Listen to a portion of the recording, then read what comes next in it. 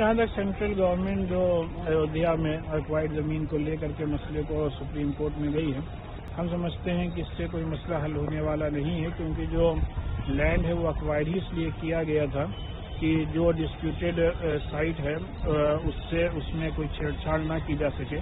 और ऑलरेडी उस पर स्टेटस को के ऑर्डर्स हैं और उस लैंड में मुसलमानों का कब्रिस्तान और मुसलमानों की दूसरी ज़मीनें भी शामिल है।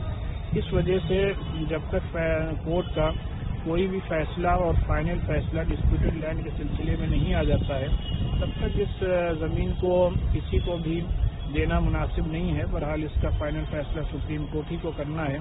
लेकिन हम समझते हैं इस तरीके के नए नए मसाइल उठा करके जो मेन केस है, उसको डिले करने की कोशिश नहीं करनी चाहिए। राम जन्मभूमि न्यास के बहुत सी भूमि नरसिंहा राव सरकार ने अधिग्रहण कर करके उन्नीस सौ बानवे में सुप्रीम कोर्ट के हवाले कर दिया था।